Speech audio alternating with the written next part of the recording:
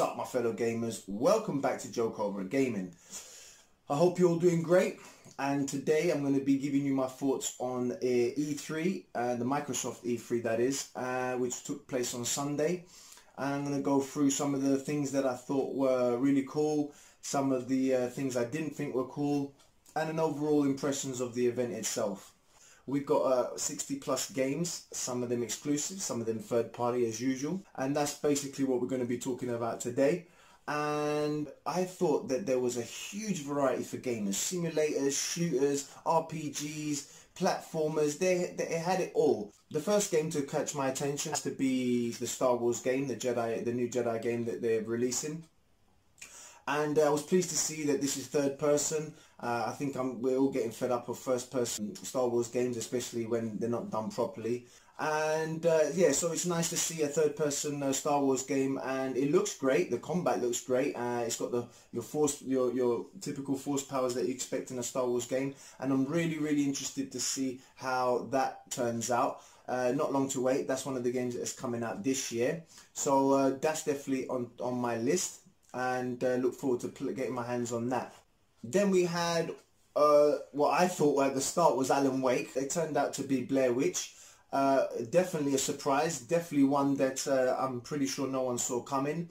It's obviously a horror game for those who have seen Blair Witch. There's not much they showed of the game, but uh, what we saw uh, looked looked good graphically and it looked pretty scary.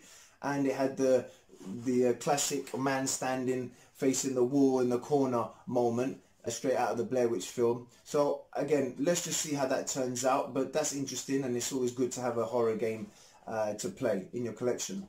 Then of course came the star of the show and I think many many people's star of the show and that was Cyberpunk 2077, a game that all you Witcher fans out there know that it's in development and uh, we finally got a release date and it was announced by none other than the amazing Keanu Reeves, which absolutely blew everyone away in the stadium, I'm sure, and on the internet. And it was fantastic to see Keanu Reeves um, involved in the project. After the trailer, we realized that uh, Keanu Reeves was going to be in the game, and then for him to come out and uh, present the game and give us the release date, I thought was fantastic and uh, the highlight of the show.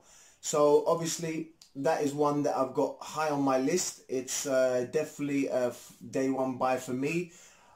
CD Projekt Red have never let us down and I'm sure that's going to be probably even game of the year material, no doubt. The next thing that was pretty cool was that Ultimate Game Pass is coming to Xbox and uh, I think we all knew that was going to come eventually. It makes sense to throw everything in so your your Game Pass and your Xbox Live Gold and I'm sure it's worth going to be worth every penny just like the Game Pass was.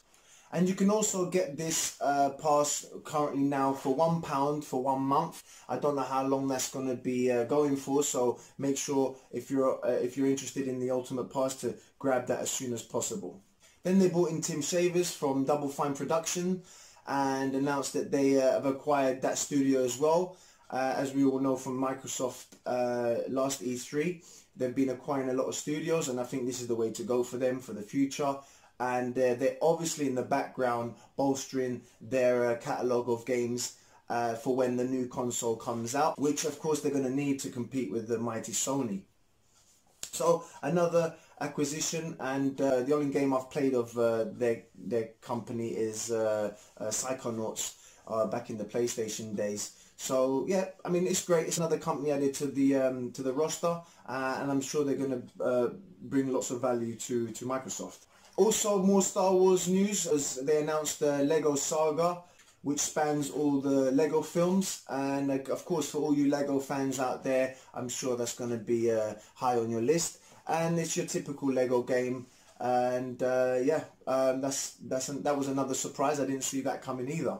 Speaking of Lego one that I'm definitely looking forward to is the Lego expansion uh, DLC which uh, there was murmurs of a few days before um, E3 um, and uh, it turns out that it was uh, it was true and uh, I must say I can't wait to uh, play the DLC. I'll probably be doing a review on that, so keep your eye out for that and I really can't wait to uh, get my hands on the game and drive some real cars and some Lego cars around the, what I'm sure is going to be a fascinating map. Then they showed off Gears 5. they showed off their new mode Escape, which is a three-player uh, multiplayer game mode. And uh, that's new to the series, along with I'm sure Horde's going to be there and the campaign and multiplayer. For the campaign, I would have loved to seen some more uh, and seen uh, and heard more about the story. But um, yeah, they didn't show any, and I, I, thought that was a bit strange. But I guess they're focusing more on their uh, new mode Escape, and uh, we'll probably see more in the events coming up uh, to release date, I'm sure.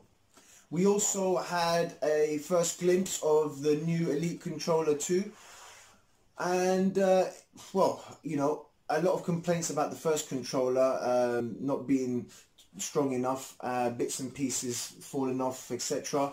Uh, I never bought the first one. Uh, I knew there was going to be another one, like there is it with anything in tech nowadays. There's always something new straight after whatever is currently available. So I don't know. I, I was looking forward to jumping in now uh, with an Elite controller, but uh, for me, no matter as as much as it looks amazing, and uh, I really like the fact that it's got a 40-hour um, battery pack uh, there, and it also charges now within the case that it comes with. But uh, you know, for the price I'm hearing, like you know, I think it's two hundred dollars or one hundred eighty dollars. I don't know what's that, one hundred sixty pound in the UK. It's a lot of money for a controller, man. That's nearly half of the price of a, of a console.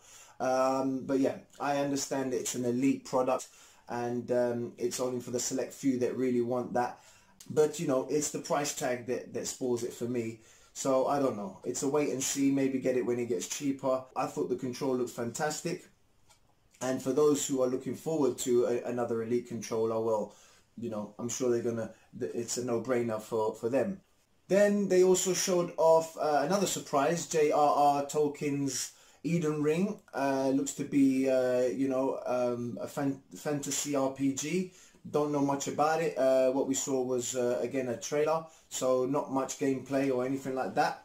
So again, it's another wait and see, see how that turns out. I'm sure we'll hear more uh, as the months pass by. Moving on, they also spoke about Project Cloud. Uh, now this sounds interesting. Uh, obviously with the Google Stadia coming out and all these uh, prescription services, whether it be Netflix or Game, Game Pass, it seems everyone's getting in on this. Um, this obviously is Xbox answer to Stadia and uh, basically what it's going to do is turn your Xbox into a, your, your personal server allowing you to play your Xbox games on a laptop or a, a, an iPad or or your phone which is for me what, the main thing I'm going to look forward to uh, doing. So you know we'll see how that uh, pans out. It's not out. It's not going to take. Uh, it's not going to start till about October. So um, yeah, we'll still wait and see with that. But uh, it sounds promising, and I'm sure Microsoft can do a good job of it. Uh, as I'm hearing the Stadia not really being uh, what everyone thought it would be, uh, i.e. with um, lag and the pricing options for it. But you know, I'm sure Microsoft uh, will get it right. So it's a wait and see with that for that one. Another big uh, show for Microsoft was, of course, the Project Scarlett. Now, Project Scarlett is their next console, as we all know. And um, they didn't show anything as we expected. Uh, it's probably still too early. All they had was uh, some of the big heads uh, at Microsoft that helped make the uh, console talking about what it can do and the possibilities of what it will be able to do. You know, take what you want from what they said, you know, 8K gaming, uh, faster loading times. This all sounds fantastic. I just hope they, uh, they can come through with all these things.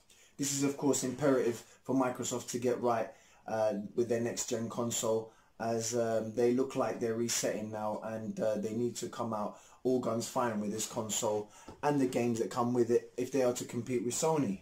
Then of course we had the uh, announcement of Halo Infinite which we all knew is coming and they established that it is going to be coming out on the new Xbox whatever that ends up being called and uh, it makes sense. The last time uh, Halo came out with a console, and a Microsoft console was the very first Xbox, and we all know what it did for that. I'm really hoping that this game does what it did for the first Xbox for the new Xbox next year.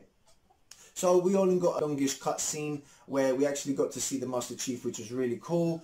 And you know, it's typical Master Chief gets his gun and it's time to fight and he's going to bring it to whatever uh, the uh, enemies are in this next game. and I'm sure all the Halo fans out there, including me, cannot wait to see what this looks like on the new consoles. I, I'm presuming that Microsoft is going to pull out all the stops to make sure this game looks great. It's going to be out on all the other consoles, all the other versions of the Xbox out uh, uh, as well, I'm sure. But it's going to definitely look the, the best on the new Xbox console.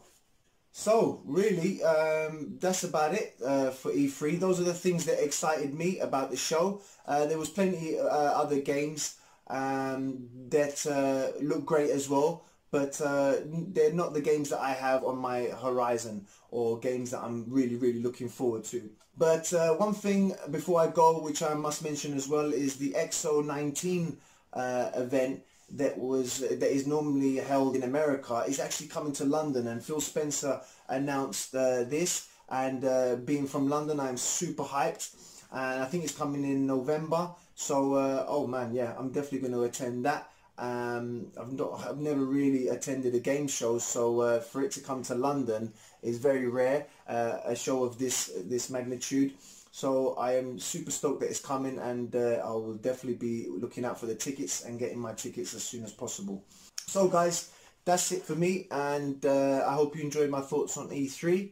Please leave your comments down below of what you thought of E3. It doesn't have to be the Microsoft conference; it could have been any of them. Um, tell me what you liked, tell me what you hyped for, tell me what you didn't like. And uh, I'll see you guys next time on Joe Cobra Gaming. Take care of each other. One love. Peace.